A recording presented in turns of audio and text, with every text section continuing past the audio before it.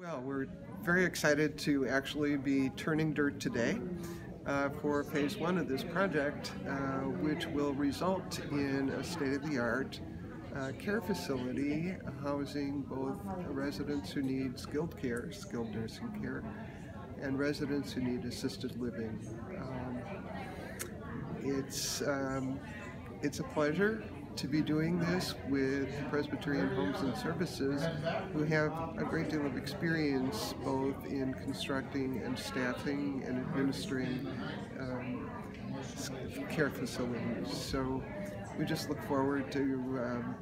to inviting our sisters and other our neighbors to come and live here, enjoy the view, and get perfectly fine health care.